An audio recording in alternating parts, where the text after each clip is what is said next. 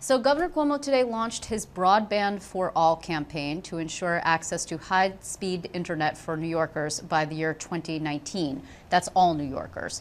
The $1 billion plan would be funded partly, about half, by the state, and then private sector companies would pick up the other half of the cost. This is something that rural areas are particularly interested in. Rachel Haot is the Chief Digital Officer of the Cuomo administration. She's actually the very first Deputy Secretary for Technology ever uh, for the state. And she's joining me now from New York City to talk more about this initiative. Rachel, thanks for being here. Thank you for having me, Liz.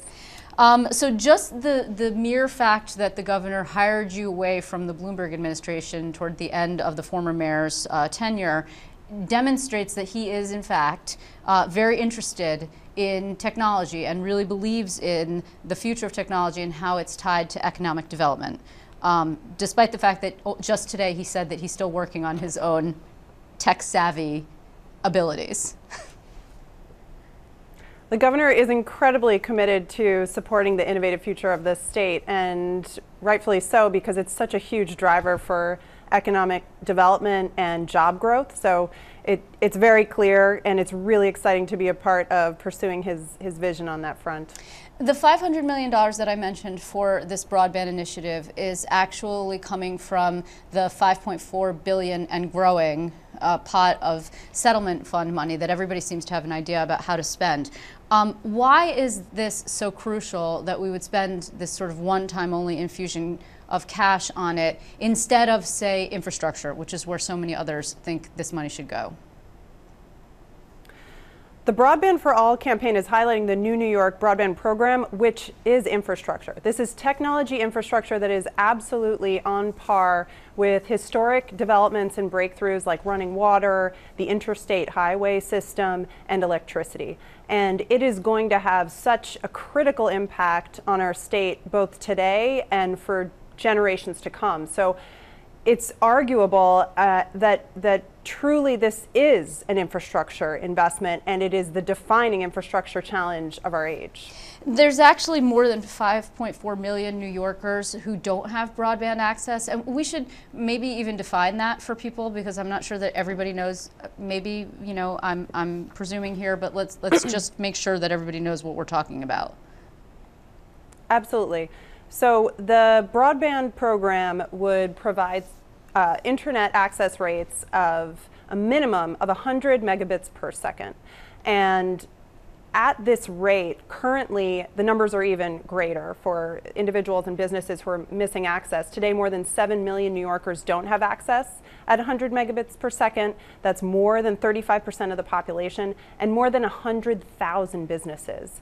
Now today, experts say that you need a connection of at least one gigabit per second to really sustain economic growth. So mm. clearly New York will be at a disadvantage. Already we're not currently in the top 10 if you're ranking connection speeds and access and penetration of, of high-speed uh, broadband, and we simply have no choice. If we want to ensure the economic, ac academic, health, safety, um, and overall quality of life for future generations of New Yorkers, now is the time to make this investment. This sector, though, is making such rapid advancement. I mean, what can we do to be sure that this money is well spent with an eye towards whatever is, is going to happen five years, 10 years, 20 years down the road, and that $500 million isn't going to become obsolete in a short period of time?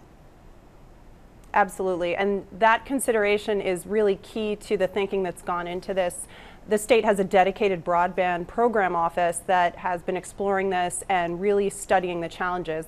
The way that the funding will be administered, and it's 500 million that's coming from those one-time bank settlements that will be matched by at least 500 million in value and contribution contributions from the private sector. So already we're getting that incredible value there. And then the way that it will be administered and invested in the community is through a very community driven, local um, driven approach through the regional economic development councils. So this has worked really well so far for Connect New York, the governor's existing broadband program, which to date has already invested more in New York's infrastructure than any other state in the country. And we believe that by partnering with local community leaders, business leaders, that we'll really be able to identify where the, the greatest return on this investment will be. Can you sort of expand on that local piece because this is not like you know your traditional infrastructure. I mean that can be controversial, particularly when you talk about say building power lines, for example. I mean when you're talking about broadband, will there be a piece where people will have a say about where technology should go and is it going to be invasive for lack of a better word? I mean what do you have to lay down in the ground if anything?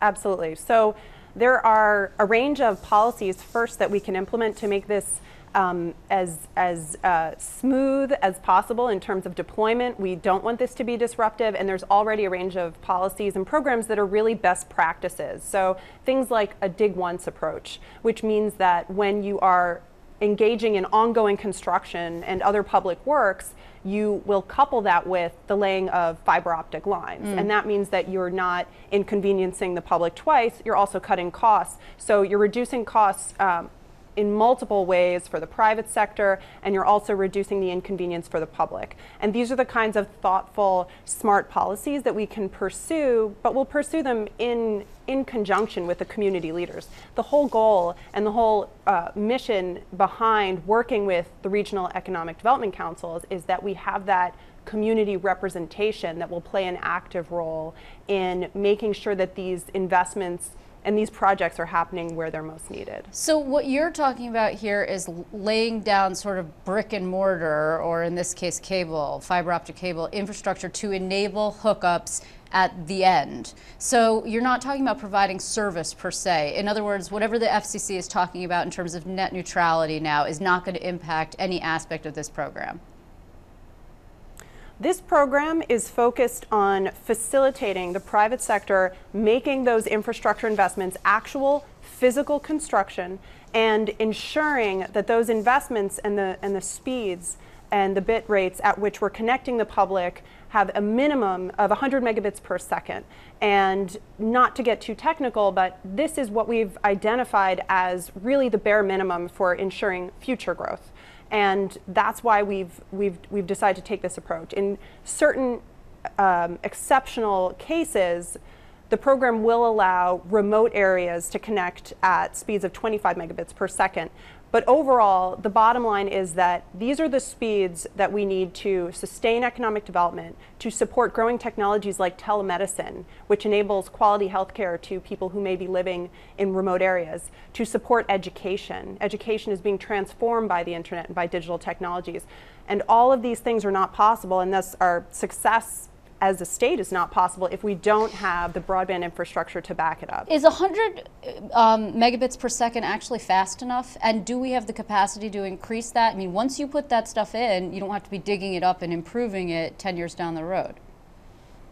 Absolutely. The bare minimum that we're requiring is 100, but that can be expandable to at least 500 and in many cases a gigabit. And Many experts have said that a gigabit is what's necessary to support sustainable economic development, and that that's really what we're aiming for. And at the same time, we have to balance that against what's feasible and what makes sense uh, from a strategic and economic development standpoint. Uh, so we're going to run out of time soon, but I also want people to know. I mean, I, I, you are sort of the person behind. If anybody's been on the state website lately, an overhaul and modernization of the entire state website, ny.gov, and an upgrading of that, um, which is something that you also did for New York City. So if anybody is, has seen it, it is way more interactive. I think you're also behind the governor's Instagram account. Is that correct?